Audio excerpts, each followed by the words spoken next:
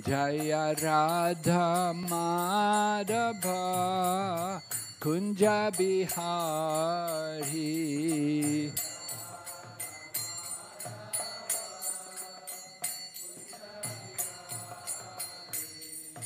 Gopi Jana Ballabha Girid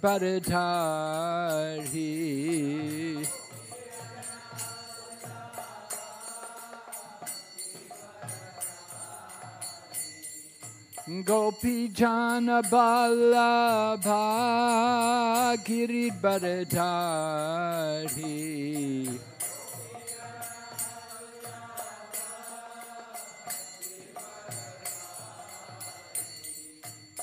Yashodanandana Braja Janaranjanha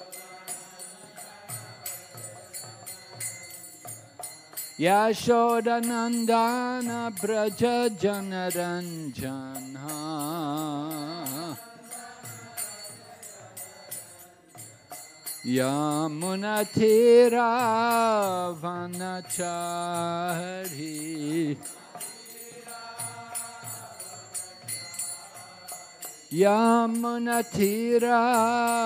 Vanachari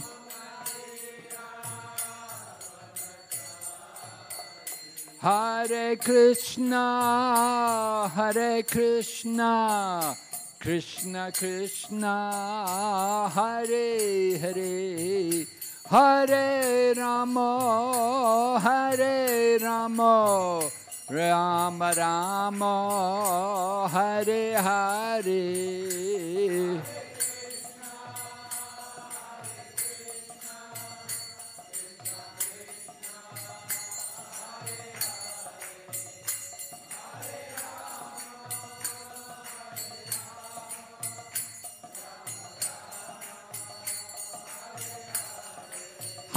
Hare Krishna, Hare Krishna, Krishna Krishna, Hare Hare, Hare Rama, Hare Rama, Rama Rama, Hare Hare.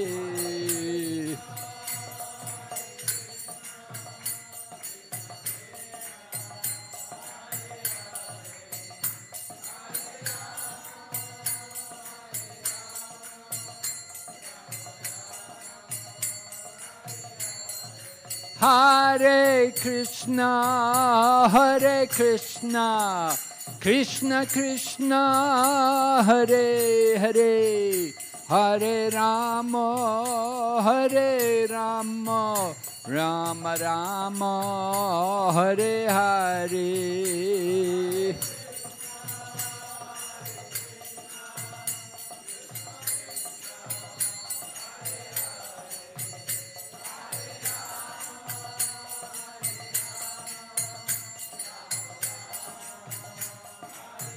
Nitai Gaur Haribo, Haribo, Haribo, Nitai Gaur Haribo.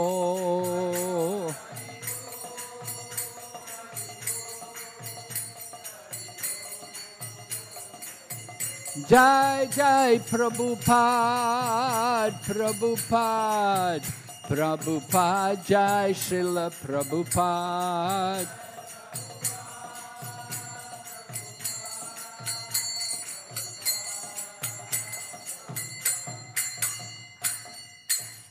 Gaur Premanande Haribo Namam Vishnu Padaya Krishna Prestaya Bhutale Srimati Bhakti Vedanta Swami Ti Namne Namaste Sarasati Devi Gauravani Pricharine Nirvishesha Shunyavadi Paschacha Deshatarine Om Namo Bhagavate Vasudevaya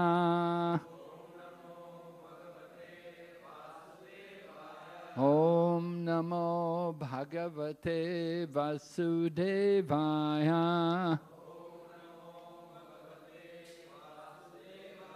ॐ नमो भगवते वासुदेवाय।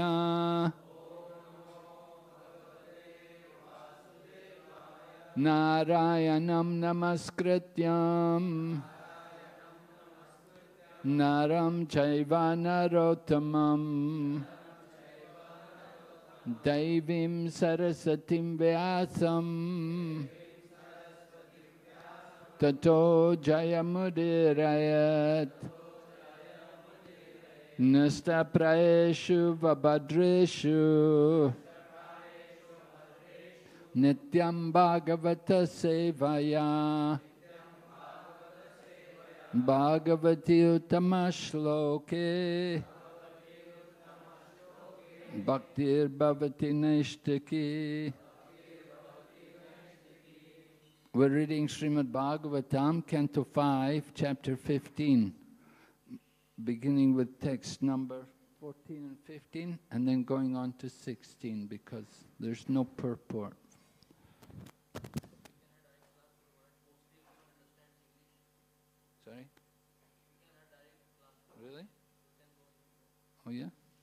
Okay.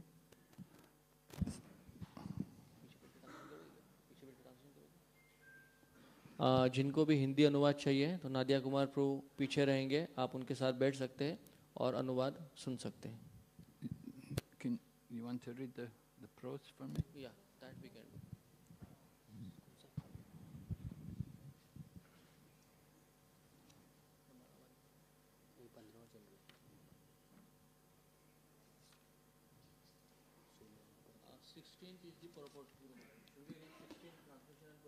Yeah, we should read 14 and 15, and then we should read 16. हम आज स्कंद पाँच अध्याय पंद्रह जिसका शीर्षक है राजा प्रियव्रत के वंशजों का यश वर्णन। श्लोक क्रमांक चौदह पंद्रह और सोलह पर चर्चा कर रहे हैं।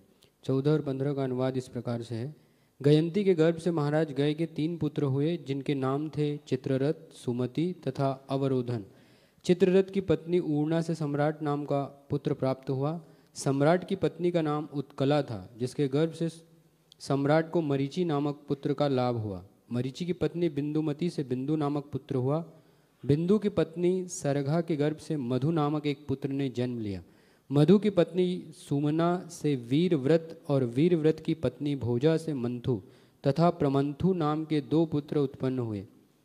मंथु की पत्नी सत्या से भौमन नाम का पुत्र और भौमन की पत्नी दूषणा से त्वष्टा नामक पुत्र उत्पन्न हुआ। त्वष्टा की पत्नी विरोचना से विरज नाम का पुत्र हुआ और उसकी पत्नी विसूची के गर्भ से एक सौ पुत्र तथा एक पुत्री उत्पन्न हुई। इन सभी पुत्रों में सतजीत नाम का पुत्र सर्वोपरि था। सोलवा श्लोक का अनुवाद इस प्रकार से है। राजा विरज के संबंध में यह श्लोक प्रसिद्ध है, जिसका अर्थ है, अपने उच्च गुणों तथा व्यापक कीर्ति के कारण राजा विरज उसी प्रकार से प्रिव्रत राजा के वंश के मणि हो गए, जिस प्रकार भगवान विष्णु अपनी दिव्य शक्ति द्वारा देवताओं को विशुभित विभूषित करते और उन्हें आशीष देते। हैं तात्पर्य, पुष्पित वृक्ष अपने सुगंधित फूलों के कारण उद्यान में अच्छी ख्याति अर्जित करता है। इसी प्रकार यदि किसी वंश में कोई प्रसिद्ध व्यक्ति होता है तो उसकी उपमा वन के सुगंधित पुष्प से दी जाती है। उसके कारण पूरा वंश इतिहास प्रसिद्ध हो सकता है, चूँकि श्री कृष्ण ने यदुवंश में जन्म धारण किया। अतः यदुवंश तथा यादव लोग सर्वदा के लिए विख्यात रहे। राजा विरज के प्रकट होने से महाराज प्रियव्रत प्रियव्रत का वंश सदा से प्रसिद्ध रहा। इस प्रकार श्रीमद् भागवतम के पंचम स्कंद के अंतर्गत राजा प्रियव्रत के वंशजों का यश वर्णन नामक पंद्रहवें अध्याय के भक्ति वेदांत तात्पर्य पूर्ण हुए। Go ahead. You can read. You want to read 16? You want me to read it? Is Maharaji, I have completed. Okay. Purport yeah. also. Yeah. Completed. Yeah. I have read. You read already? Yeah. 16 also? Yes. okay. Om Jnanatimirandasya Jnananjana Shalakaya Chaksurunmilitanyena Tasmai Shri Gurave Namaha Shri Chaitanya Manobistam Stabitam Yena Bhutale Swayam Rupa Kadamayam Dadati Swapadantikam Vandeham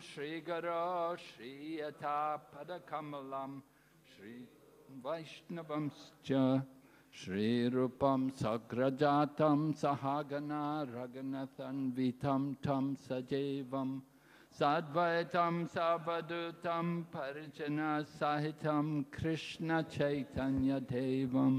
Shri Radha कृष्णपदान् सहगना Lalita श्रीविशाखानितंश्च हे कृष्णकर्णसिन्धु दीनबन्धो जगत्पते Gopesha Gopika Kanta Radhakanta Namastate Tapta Kanchana Gorange Radhe Vrindavanishwari Vrishabhanustate Devi Pranamami Hari Priye Vanchakaupatarubhyascha Kripa Sindhu Bhaye Vacha Patitanam Pavanebhyo Vaishnavibhyo Namo Namaha. Jai Shri Krishna Chaitanya Prabhu Nityananda. Shri Advaita Gadadhar Shri Vasade Gaur Bhaktavinda Hare Krishna Hare Krishna Krishna Krishna Hare Hare. Hare Rama Hare Rama Rama Rama Hare Hare So this is the last verse of this chapter, chapter 15. We're hearing about the descendants of Priyavrat. So I thought it might be helpful to just quickly review what's been covered in this fifth canto. It began with the activities of Maharaj Priyavrata himself, Maharaj Priyavrata being the eldest son of Swayambhuva Manu. Swayambhuva Manu had two sons, Uttanapad and Priyavrat. And but Priyavrat, from the early age, gone off to be with Narada Muni, to gone off, gone off to the mountains to do tapasya, and he didn't have interest. So Uttanapada took the throne when Swayambhuva Manu wanted to retire. Uttanapada became the king, and he was ruling for a long time. But then what happened then? Oh, different people die. They different die. They, they give up the body, and you know, Priyavrata still hadn't come back. They, wanted, they went all the way to the Prachetas, and the Prachetas were ruling, and there was no descendant. And then they needed somebody to rule. So then Swayambhuva Manu, along with Brahma and Indra, they all came there and got Priyavrata to come back and to rule. And so Priyavrata entered into householder life, and uh, at the same time, he remembered the lotus feet of the Lord. He kept his devotion.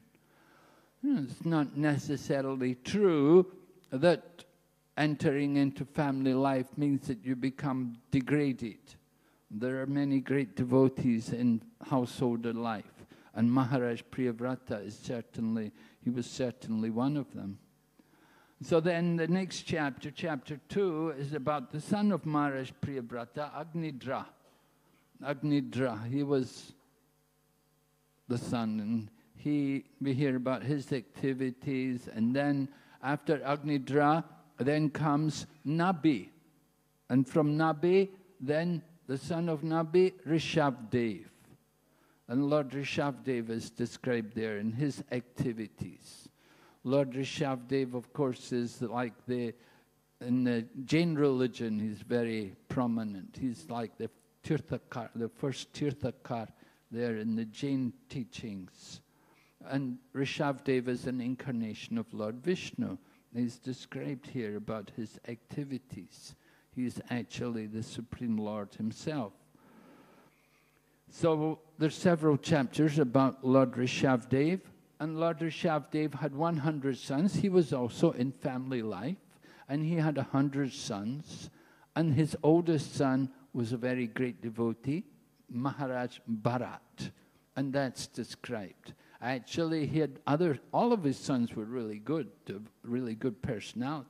There was the nine Prachetas, uh, not, not Prachetas, the nine Yogendras, Navyogendras, right? The, they were the sons of Lord Rishabdev, but you don't hear about them until 11th canto.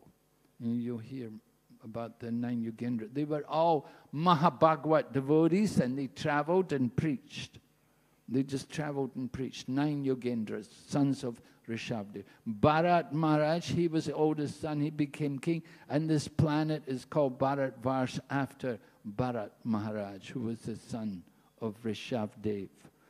So we hear, after hearing about Rishabdev, then we hear about the activities of Bharat Maharaj, and how Bharat Maharaj, how he, after renouncing the kingdom, gave up everything, went to the Ganduki, went to the Ganduki up there in Himalayas, and somehow he got in, attached to a deer, and he ended up becoming a deer in his next life. So that's described, and then you hear about how his next birth, after the birth as a deer, he became Jadbarat. And he was born the son of a Brahmana.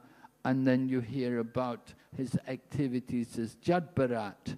And particularly, it's very in, important to hear about Jadbarat's an encounter with Maharaj Rahugan. Maharaj Rahugan, uh, he was the, a king who was going to visit holy places and he needed somebody to help carry his palanquin. And he happened to select Jad Bharat to help carry his palanquin. So Jad Bharat was carrying his palanquin and later in course of time, because he was carrying the palanquin and avoiding the insects on the path, so it was a rough ride for Maharaj Rahugan. And Maharaj Rahugan got quite angry at Jadbarat and began to chastise him. And then Jadbarat began to speak philosophically. And he revealed himself because Maharaj Rahugan thought that Jadbarat was just some crazy person, just some useless person with no brain. But when he heard Jadbarat speak, then he understood he was really a very great soul who was really enlightened. And so Maharaj Rahugan and Jadbarat, they're discussing, you can hear the conversation between them. And Jadbarat also describes the material world like a forest of enjoyment. So all of this is described here in Srimad Bhagavatam. And then that brings us up to the, this chapter which we're finishing today, which is chapter 15 we're hearing about the descents, the descendants of Priyavrata. And we were hearing particularly about Maharaj Gaya the last few days. And today they're talking about another son. Is, uh, what was the name? Viraj, Virajit? Uh, Viraj, Virajit, yes, yeah. So Virajit, one of the descendants of Priyavrata. And we'll go on to hear next chapter, tomorrow, we'll hear beginning the description of Jambudweep, because these kings were not ordinary kings. They were not just ruling this planet. They were ruling Jambudweep. They were really big kings, you know. Jambudweep, we don't even know about Jambudweep. We can't even dream of it, you know. It's beyond our comprehension. But they were ruling it. And the Pandavas sometimes like that, they would go there. When Arjuna was collecting gold for the Rajasuya sacrifice, he would go to these kind of places. So anyway, that's coming up in the next section of Srimad Bhagavatam. But today, we want to speak in relation to the verse today, how there was a great soul, Virajit, appeared in this dynasty from Priyavrat, Although Priyavrat was a great soul himself, Vishwajit is also is considered the jewel of the dynasty. We're not told exactly very much about his activities. I couldn't find anything about him. But Prabhupada speaks about how you have one great soul in the dynasty, and it's, it's very uh, one great soul brings so much credit to everybody in that dynasty. And Prabhupada gives an example, just like you may have one sandalwood tree in the forest. If you have one sandalwood tree, the aroma of the sandalwood goes through the whole forest, and the whole forest becomes, you know, very aromatic due to the fragrance coming from the sandalwood tree. And Prabhupada gave this example actually. We had uh, one devotee who joined in Hong Kong, one Chinese man joined in Hong Kong when Bhurijan, His Grace Bhurijana Prabhu, Bhurijan's very, very, very senior devotee, very learned devotee, and for some time he was preaching there in Hong Kong along with his wife. His good wife was also a very powerful preacher. She had been a, a movie actress before becoming a devotee, and she gave up being a movie actress to become devotee and to go out on Sankirtan. And Prabhupada arranged her marriage to Bhurijan and sent her off. She, she had joined in Los Angeles, but Prabhupada sent her to, to uh, Hong Kong to marry this one devotee, a man she'd never seen before. So it was really interesting, you know, that they were so renounced. Prabhupada arranged it, they did, and they're still married today, more than like 50 years. They're still married. And, and they're both very active in preaching. Anyway, Bhurijan recruited this one Chinese man in Hong Kong, and uh, he's still a devotee also, although he's in poor health and old age, but he's still devoted. So his name was Yashomati Sutta and he began translation of the Bhagavad Gita into Chinese. And when Prabhupada heard that he'd actually translated Bhagavad Gita into Chinese, Prabhupada was so pleased, and Srila Prabhupada praised him. He said, You are a credit to all the Chinese race. He said, just like if you have one fragrant tree in the forest, the whole forest becomes glorified. Prabhupada said, because you have translated the Bhagavad Gita into the Chinese language, he said, you are a credit to all the Chinese people, to the whole race of China. And, and uh, it's very nice, actually, that Prabhupada appreciated so much that work. And uh, similarly, Prabhupada himself went to Moscow in 1971. At that time, Russia was very much communist and it was really closed up. It was not Russia, it was all USSR. Today, you know, they're all divided, they're all separated states now. But in 1971, it was quite difficult to go there. But Prabhupada somehow, with the help of his secretary, Shamsundar Prabhu, he arranged that they could go there. And the, the purpose in going, they had arranged a meeting with a professor in the Moscow University who was a professor of Asian studies, a professor Kotovsky. So Prabhupada and Shamsundar and I think uh, maybe uh, another devotee also had gone there with Prabhupada. And uh, they were just in Moscow for a few days. And they were looking around and seeing Moscow, how it was in those days. It was really very drab, and there were churches.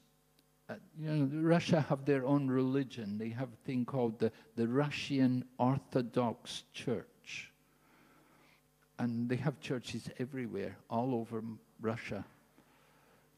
So uh, when Prabhupada went there to Moscow, he saw that there were churches, but there were soldiers guarding the churches. Because the nature of the communist society, they don't encourage religion. So even though the people may want religion, the government doesn't want to encourage it. And then the Russians had posted these soldiers outside the, the door of the church just to restrict entry. Anyway, Shamsundar was there with Prabhupada and difficult to get food. You know, Prabhupada wanted some fruit or vegetables, some rice, and very difficult to find these things. So Shamsundar Prabhu was out searching to buy some rice so he could, uh, they could cook something for Prabhupada. So while he was out there in the streets, there was one, there was an Indian boy who his father was like working in the Indian embassy, and he was with a, a young Russian man. And they saw Shamsundar, and they could see that he was a Westerner. And so they asked him, Do you have any Beatles music? Do you know Beatles? Do you remember them? Yeah? Yeah, right. You know, the, the music group, they were very, very popular in 1971. So Russia, they're not allowed these kind of things. You know, that's not allowed, wasn't allowed in the communist regime. They don't want to encourage these kind of things. So they, they approached Shamsundar and asked, could you give us some, have you got any Beatles music with you could give us? And Shamsundar looked at them and said, he said, well, you know, I've got the, the guru of the Beatles with me here, the guru of the Beatles is here right now. He's sitting in the hotel room. You want to come and meet him? So they said, oh, yeah, sure, you know. so they went over to the hotel room and they met Srila Prabhupada. And this young Russian man was so interested. You know, Prabhupada began to speak and explain a little bit about self-realization and God, real, God consciousness. And this Russian young man, he immediately took to it and he had so, so many questions. And he, he spent a lot of time there with Prabhupada, just hearing Prabhupada and asking questions and learning from him. And that young Russian man, Srila Prabhupada initiated him, Ananta, Ananta Shanti, Ananta Shanti. Yeah, he, he died some years ago, but uh, this Ananta Shanti was the first Prabhupada's disciple in Russia, and he was so affected by Prabhupada's association that he took the message of Krishna consciousness around Russia, that he personally helped to bring more Russian people into Krishna consciousness. And they even organized the printing of Prabhupada's books and translation of Prabhupada's books, which were illegal. It was illegal. Just like in China, you can't, legal, it's very difficult to print books the, because they know the power of the press. And Prabhupada himself said about how in, in India, in Calcutta, for example, they have the books of the communist philosophy. There's a bookstore there which is all for communist books.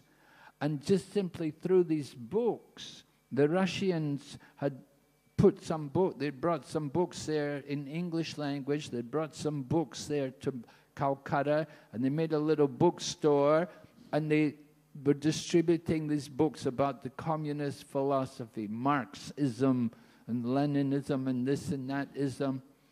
And from that, they introduced communism to India. That's how it came in India. It, no Russians came here to preach communism. How did communism get here in India? That you had Bengal, it was communist state for many years, decades. And, maybe Kerala is still communist, I don't know. But it came, how did it come into India? Simply by their books. And Prabhupada gave this example. He said, in the same way, he said, we may not be able to go to some countries like at, at Russia, going into Russia at that time was difficult. He said, but send the books. And the devotees then, they really worked hard to send the books into Russia. And th there's a book written about it. Uh, what's it called? Bread? Salted bread, right? Salted bread. Yeah, you can read a wonderful book describing about the, all the tortures and the difficulties, the struggles which they had in trying to bring Krishna consciousness into Russia. But we do have a, a number of centers in Russia. We're not a major group in Russia. We're a minority group, but we do have a lot of very nice devotees. And actually, when you go outside of Russia, when you go to America, you go to London, you go different countries, you'll see there's a lot of Russian devotees. And they do a lot of service. So Prabhupada was the one who introduced Krishna consciousness to Russia. With the help of Shyamsundar, they met this one man. And Prabhupada said, Prabhupada gave the example, he said, just like when you cook rice, you pick up one grain, and if one grain is cooked, you know all the rice is cooked, right? So everybody who cooks, you know that, right? So the same way Prabhupada said, this one man shows what is the mood in Russia. From this one man, you can understand how ripe this country is to introduce Krishna consciousness. And of course, Prabhupada sent some of his senior devotees told them that they should preach there in Russia. And there were people, Gopal Krishna Maharaj, of course, he goes there regularly. He has many disciples there. And there are many, many other devotees. Indradyumna Swami, of course, he also has a lot of Russian disciples. He travels regularly there.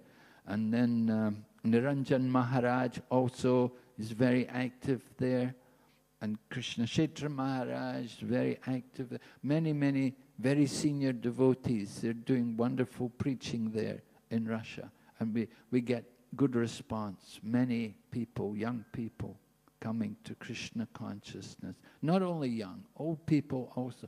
Everyone, they, many people, they really like Krishna consciousness movement. But there's opposition. There's always opposition. Prabhupada writes about this in the Chaitanya Charitamrita. And he describes how when Chaitanya Mahaprabhu was present in Mayapur, how the Chand Kazi came and broke the mridanga drum in the house of Srivas Pandit and stopped the, stopped the Sankirtan. No more Sankirtan. Any more Sankirtan, I'll convert all of you to Muslims. So they were very afraid. So Prabhupada writes in that section of the Chaitanya Charitamrita, he said, where there is opposition to our movement, he said, this shows that our movement is bona fide. because we're doing something good. We're presenting something very good, very powerful. So naturally, the materialistic people who are more atheistic, they oppose it and they try to stop it. And so we always face these challenges in preaching. You have to expect there will be challenges. Even Bhaktisiddhanta Saraswati, when he was preaching in, in, in Bengal and uh, Orissa and these places, there was opposition. There was opposition to him. At one point, they even stoned their, their uh, they were doing parikrama and at one point, they all got stoned. There was, there was so many, and there were threats on the life of Bhaktisiddhanta Saraswati. And Prabhupada also said, so much opposition. He said in Mom, Bom, Bombay or Mumbai, he said the opposition was from the municipality. at that time, Prabhupada was trying to build the temple at Juhu, and the municipality were opposing because of some influence by the man who had cheated, tried to cheat us in purchasing the land. So Prabhupada said the municipality are, are opposition. He said in Navadvip the opposition is my god brothers. and he said in Vrindavan the opposition are the pundits. you, you have to expect people will oppose you. You try to preach Krishna consciousness, there will be opposition.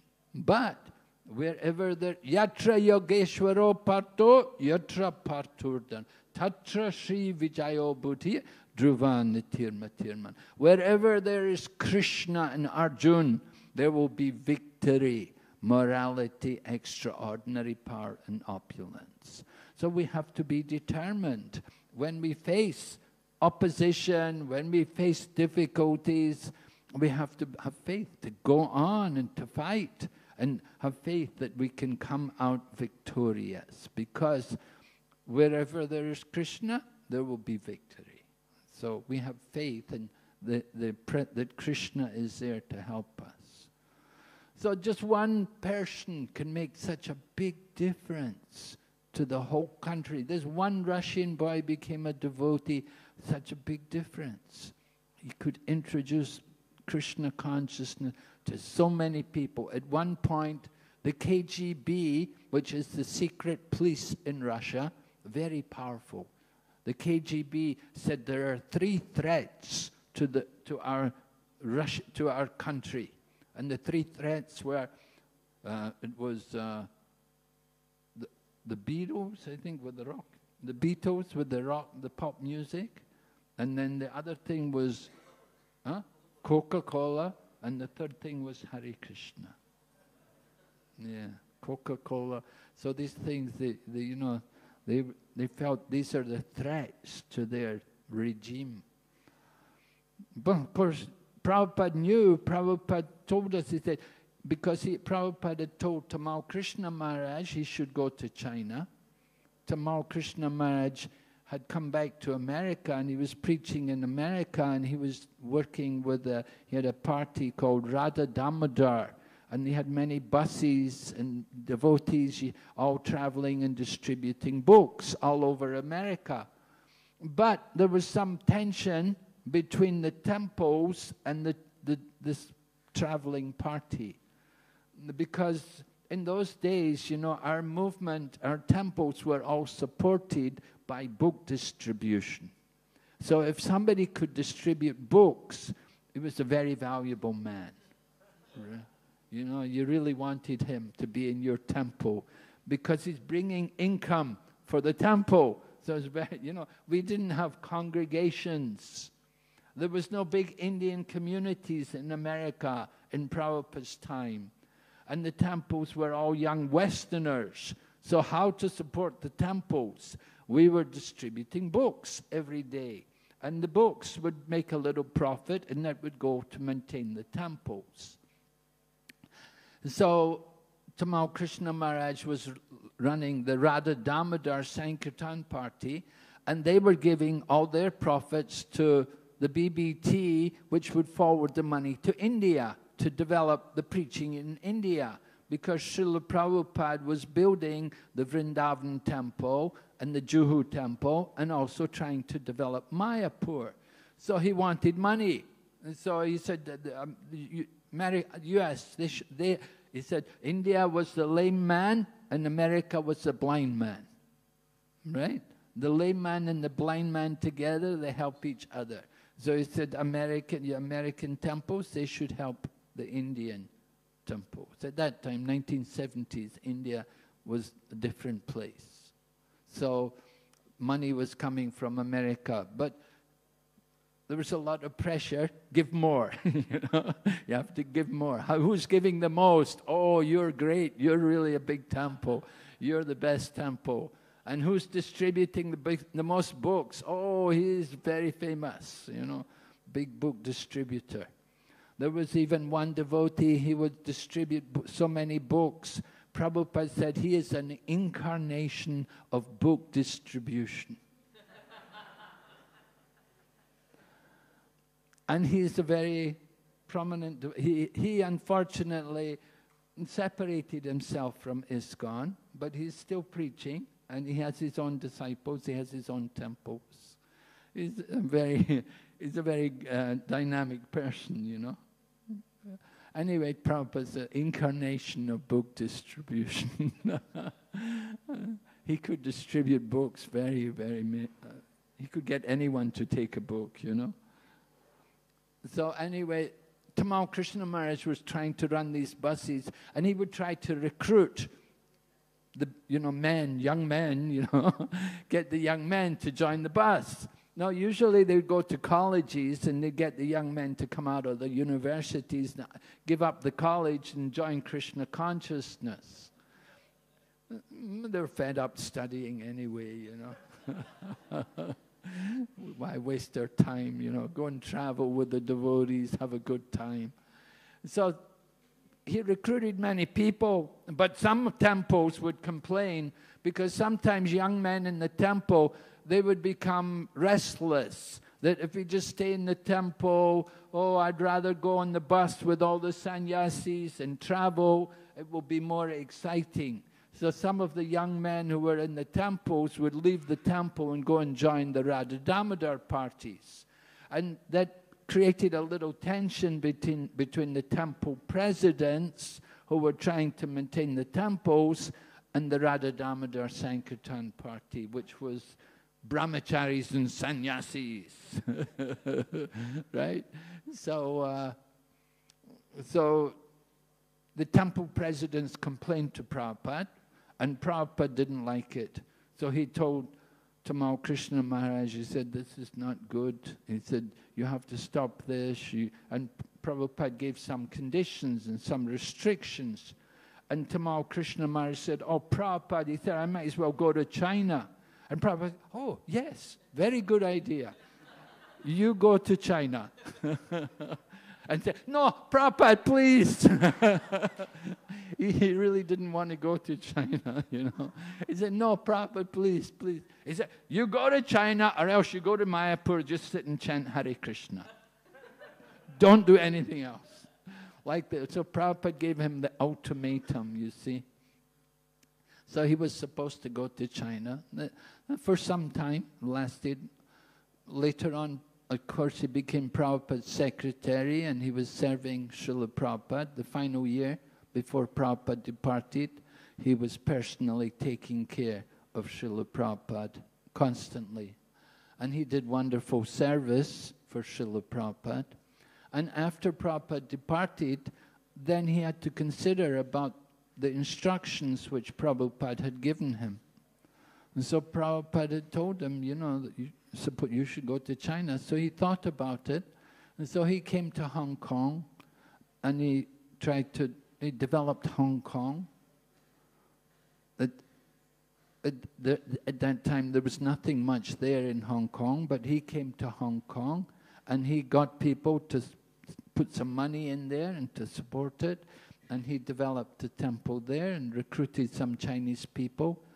And then also he got the more and more books translated to Chinese. And we tried to send the books into China. And we'd send books into China. In those days, in 1970s and 80s, the Chinese people were coming to Hong Kong to work. Nowadays, it's a different way. Hong Kong people go to China to work, although not maybe not with the COVID, but uh, up until COVID, it was like that. The industry is in China. It moved out of Hong Kong to China. But in the 1970s and 80s, Chinese people were all coming to Hong Kong, and they were working in Hong Kong. So when it came to things like Chinese New Year, they would all go back to their home in China. So we would all go to the train station and we'd give out books to people. We'd give out Chinese books to them to take back to China. And in this way, we'd send the books into China. And similarly, the devotees, you know, Germany was divided Eastern Europe, Western Europe, and you know, and they would send the books. Somehow they would smuggle books. They would find ways to smuggle the books into the eastern part of Europe, into Russia and into all these, Ukraine, all these places. They would smuggle books. They put books everywhere, put them in, in on, on ships. They'd, they'd just put wherever they could. They just try to get these books somehow in, into Russia. And I know uh, we distributed the books in China, and you know we had the experience. One man got the book, and he saw the book, and he loved it so much. He, he came to us. He said, "I want to help you spread this knowledge all over China." He he was so he was a Buddhist man actually, so he believed in reincarnation and and he and he was a vegetarian, so he liked very much our books, and he tried his best to help us, and he's still he's still alive, and he's still he's still very friendly with us. Now he's a Buddhist monk, but whenever we have programs, he will come, and he's very nice. He always speaks very favorably about Krishna consciousness. So you can see the effect. You distribute books, you know, it, it really works. It really affects people. Another young man, he got the book and he was picking out sections from the book and he would copy it out and he got big pieces of paper and he'd write up different sections from our books. He'd write it and paste it on his wall. We went to his house. His house was covered with big, you know, sections from Prabhupada's book. He stuck them up on the wall. It's so nice to see how much people really appreciate Prabhupada's books. You, you know, Prabhupada said in the future, because we were struggling to distribute books, but Prabhupada told us, he said, in the future, people will line up to get your books. And actually, it, it happened. Not only in countries like Russia and China, but even in America sometimes, people would line up to purchase Prabhupada's books. We'd go to these colleges in the USA, and they, they have these places in the USA. The college is like a city. Just huge, you know, and it's full. The campus, the whole campus, so many buildings and hostels and so many students staying there and so many shops and everything. And so you go there, sometimes we'd go there and distribute books, and people would just come and line up to get Prabhupada's books.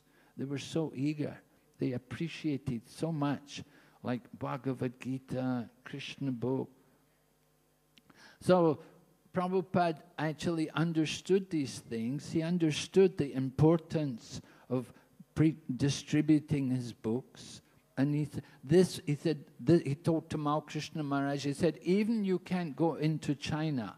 He said at the present moment, he said, just send the books there and the books will do the work. The books will create the field for the preaching. And we actually see it, that the books do. They, they created the, and he told us also, he said, he said this communist thing is not going to last forever and we see Russia, how it, it's broken up. Now Russia is much more open. Still difficulties, it's still difficult, there's still challenges, but still it's much better than it used to be. And now we do have devotees, many centers there, and preaching is going on. So this is really how Krishna consciousness works. Just you don't need a lot of people, you just need one sincere soul. We, there's a saying that one moon is better than millions of stars, right? You may have millions of stars in the sky, but you don't get a lot of light. But if you have one moon, that one moon that can benefit the whole planet.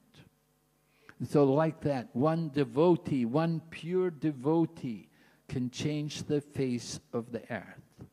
When we see how much Srila Prabhupada changed the face of the earth, just by his preaching, by his determined effort at the end of his life, how he dedicated 10 years at the end of his life to introducing Krishna consciousness. And there are so many more devotees coming in the future, more and more people will come and take up Krishna consciousness. So we give great importance to the young children. The young children, I was just in, uh, in uh, Bangalore, and in Bangalore there was one couple, the, the, one of their young sons, he recites the whole Vishnu Sahasranam. Of course, we don't recite Vishnu Sahasranam really ourselves. Why? because we just chant the name of Ram, right? You don't need to chant Vishnu Sahasranam. Uh, one name of Ram is equal to the whole Vishnu Sahasranam. But anyway, this family, they're they're devotees in Krishna consciousness, and they're they're also from Madhva line. So their son learned the whole Vishnu Sahasranam, and he was only six years old. And so it, they, it got in the Guinness Book of Records. Six, the youngest child to recite the whole Vishnu Sahasranam at age of six. So like that, we've got promising devotees coming up. I saw yesterday going to the Gurukula, the young children there, the young people there, and, and certainly it's very encouraging, very promising to see these young people take up Krishna consciousness. So we're sure in the future there will be many wonderful devotees to help us to spread this Krishna consciousness. We don't need a lot of people. We, we just need pure souls. One pure soul can do everything. Just like it's described here, that one soul, it's a jewel. It said Haridas Thakur is like the jewel of the Gaudiyas, because Haridas Thakur chanted so much the holy name. He had so much faith in the holy name. So he's like the jewel. And so there's so many jewels in Krishna consciousness, in the parampara. We want to understand more their mood and their mission and appreciate them. And then we can also propagate Krishna consciousness. We'll have more faith and we'll become more enthused to propagate Krishna consciousness and to follow, try to follow in their footsteps, to follow their example. Okay, are there any question, any comment? Anyone?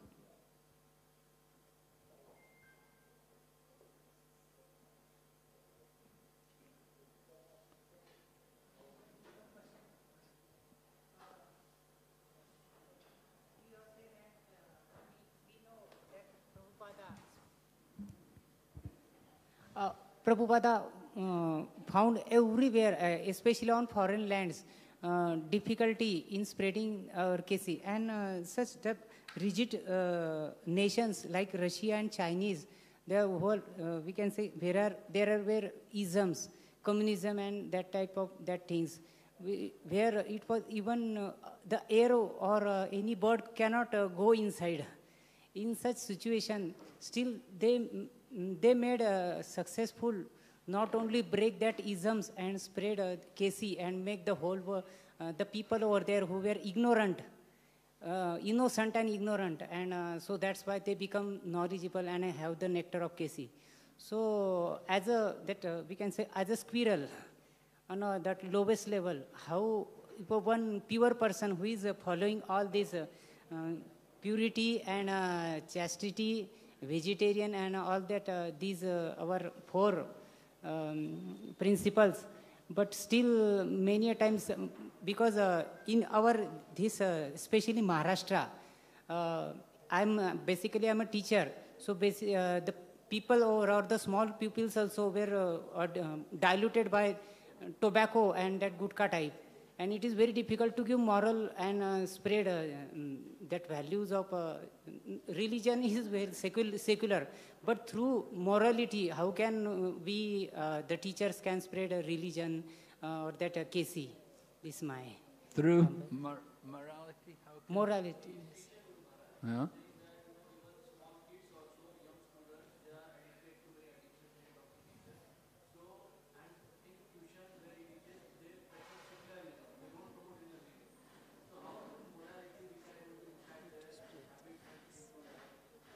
Yes.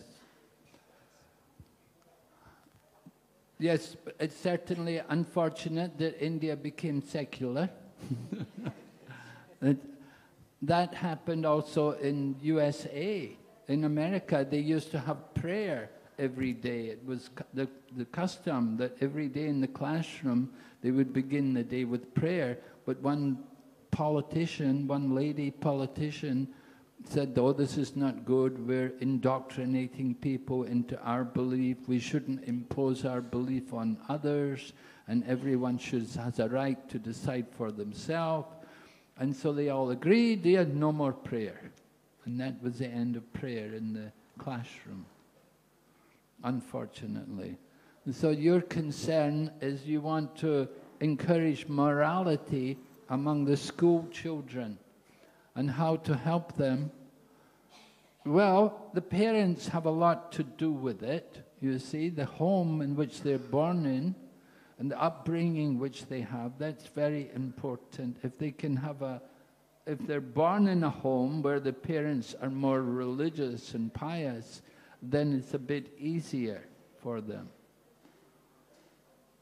If you have children who are brought up in a like a, a one parent home, you know, maybe the child is brought up with the mother, the mother's separated from the husband, and maybe she has a boyfriend or something. Well, these kind of things go on. And so the, the child is aware of this, you know. Oh, um, oh, or, or they say, somebody said to me one time, they said, oh yeah, my, my mother, she goes out with other men. My father also goes out with other women. You know?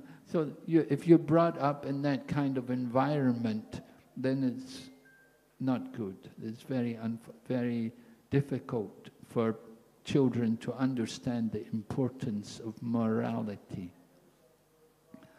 So how to somehow get through to them?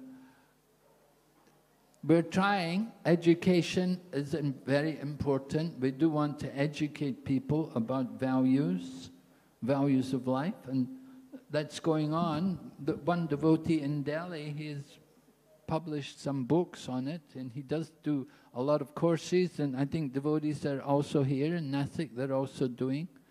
They're trying to teach values. It takes a lot of patience and a lot of uh, enthusiasm. We have to think also how to introduce this to a manner to attract people how to attract people into these things. Sometimes, you know, in places like USA, if you try to speak to people about morality, they just laugh at you, you know, they think, what, what's, what's wrong with you, you know? they they just can't fall, they can't uh, accept it at all. It's just something so far away from them. The thought of moral principles. And there was even a case, you know, one Indian family who lived there in America. So their daughter was going to school. And so it happened that another boy at the school, he invited her, hey, let's go out together, you know, I'll take you out. And so she said to her mother, is it all right for me to go out with him? And fortunately, the mother said to the daughter, she said, if you go with that boy, you're no longer my daughter. So that's the kind of stance sometimes you have to take like that. You have to really be very determined and, and very serious to let people know the importance of this, these kind of values. Moral principles are, are something really important in life, and they will certainly uh, if we don't have that kind of morality, then we're certainly living a hellish life and we'll go to hell. That will be the destiny. So it is important for us to try to teach these things, but to teach them in a manner in which somehow to make it attractive and appealing to people. We do want to speak about the dangers which are there in immorality. What happens? What kind of society does it lead to? What, what is the future of people who are engaged in all kinds of immoral activities? How they suffer, the agonies. So, of course, we don't just want to make it all what we, the Christians call hell and brimstone preaching. You know, if, if you only speak about the miseries and the suffering which you undergo, then it, it won't be so effective. But if we can speak about the joy and the happiness which comes by practicing a moral life, that it's much more pleasing and satisfying, and that you will have a much happier life by practicing moral, mor- moral principles. The mind will be more peaceful, you can be more stable in your family life. People who are not moral, then all the time so much disturbance in the home. There's always the threat of divorce. You don't know how long the home will stay together. But people who are practicing moral principles, they can live peacefully and happily. They don't think, they don't, they don't even consider that. There's no consideration of divorce. Marriage means no divorce. And Srila Prabhupada would often imp impress that on devotees entering into family life. He said that you're getting married, now you are lifetime companions. Lifetime companions. That should be understood with the marriage. But it's not understood unfortunately, by a lot of people today.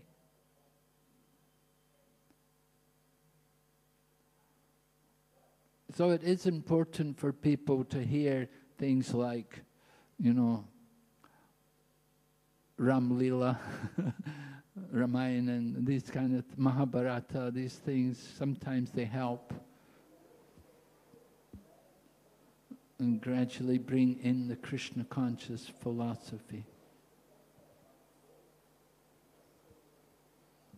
So teaching is a very challenging profession, and certainly as a teacher, you have the highest, the greatest responsibility. I remember teachers at my school, they would often say, don't smoke. But the students would say, but sir, you smoke. You know? And so that kind of teaching is no good, you know? You want to teach to people, you have to teach by example.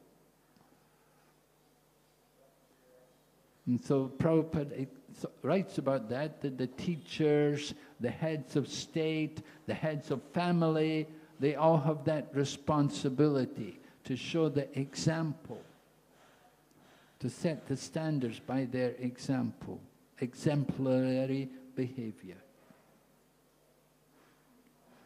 Okay, thank you for that. Hare Krishna.